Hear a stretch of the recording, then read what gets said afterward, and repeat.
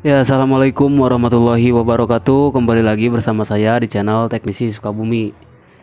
Ya, di video kali ini saya ada servisan HP Vivo Y91 masuk ke sini. Eh, keadaannya ini tidak bisa membuka kamera belakang. Nah, ini untuk kamera depan bisa ya. Sedangkan untuk kamera belakangnya sekarang kita coba dulu nah ini untuk kamera depan. Kita coba klik uh, yang ini ya yang bagian sebelah kanan. Di sini ada tulisan kamera lainnya rusak tidak dapat beralih. Nah, jadi tidak bisa beralih ke kamera belakang ini guys penyakitnya. Sedangkan untuk kamera depan normal ya. Masih bisa kebuka. Di untuk uh, video ini video kamera depan juga bisa sedangkan yang bagian belakang masih sama ya kamera lainnya rusak tidak dapat beralih seperti itu. Nah ini tadi udah saya coba hapus data namun hasilnya masih sama seperti ini. Nah sekarang untuk solusinya langsung saja kita matikan dulu handphonenya. Kita bongkar mesinnya ya karena ini ada di bagian hardware yang bermasalah bukan di softwarenya Oke kita keluarkan dulu slot SIM tray kemudian kita lepaskan. Kita buka dulu backdoornya. Nah ini untuk melepaskan backdoornya cukup mudah ya namun hati-hati karena di sini ada fleksibel fingerprint atau fleksibel sidik jarinya. Kita harus melepaskan dulu kaleng penutup soket konektor uh, fingerprint ya. Nah ini untuk konektornya kemudian kita fokus ke mesinnya. Langsung saja kita buka dulu penutup mesinnya.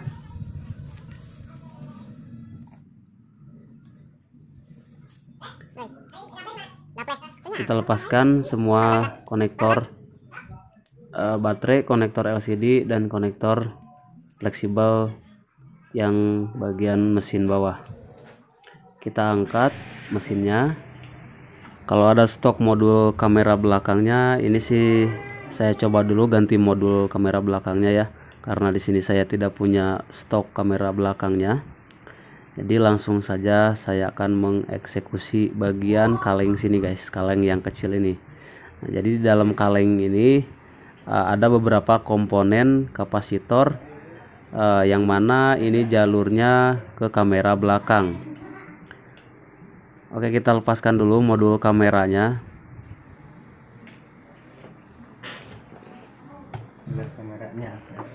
Nah ini untuk kamera depan kita lepaskan juga. Sekarang kita uh, buka kalengnya ya kaleng yang kecil.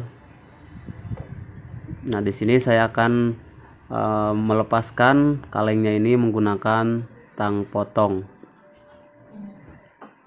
Nah, hati-hati nah, ya karena di dalam ini banyak uh, kapasitor dan juga resistor jalur kamera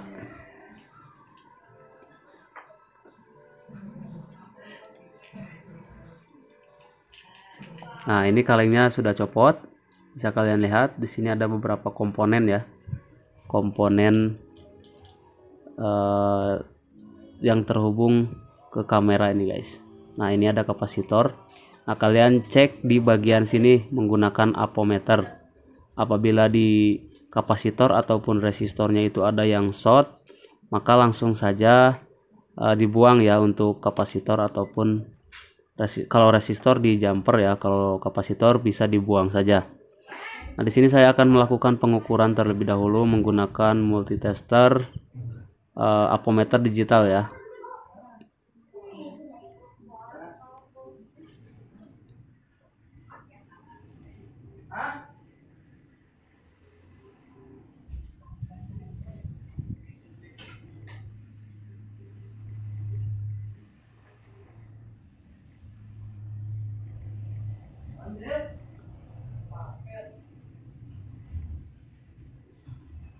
Nah, setelah melakukan pengukuran ternyata di sini ada satu kapasitor yang konslet.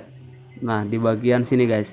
Ini kapasitor sudah saya congkel karena ini short atau konslet. Jadi tanpa diganti ya itu saya buang aja kapasitor yang konsletnya kemudian sekarang saya coba rakitkan kembali untuk kamera depan dan juga kamera belakangnya kita coba untuk hasilnya apakah setelah kita buang kapasitor yang short kamera belakang sekarang bisa berfungsi atau masih sama seperti tadi?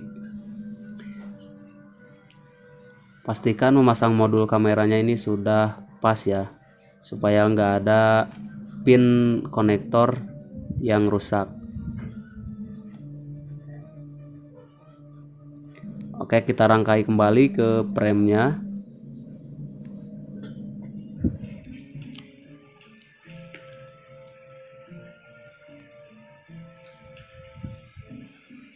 kita coba hidupkan dulu. Untuk backdoornya nggak saya pasangkan dulu ya. Karena takutnya ini masih gagal masih belum bisa kebuka kamera belakangnya. Kita tunggu sampai booting ke menu. Oke sekarang coba kita lihat hasilnya guys.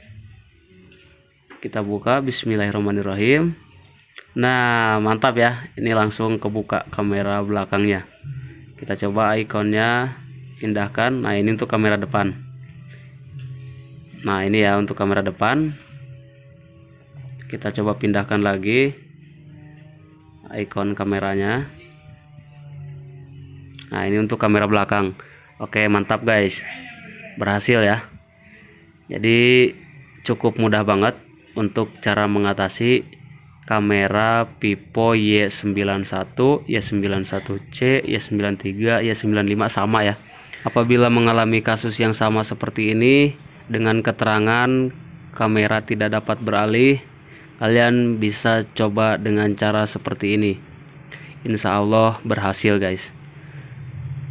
Oke ini sudah mantap ya kamera belakang sudah bisa berfungsi. Kamera depannya juga sudah berfungsi jadi ini saya hanya membuang satu kapasitor yang short. Oke mantap guys. Oke mungkin cukup sekian dulu video kali ini dari saya. Semoga video ini bisa sedikit membantu dan bermanfaat bagi kalian semua. Like jika kalian suka dengan video ini dan dislike aja apabila tidak suka. Kita ketemu lagi di video-video berikutnya. Wassalamualaikum warahmatullahi wabarakatuh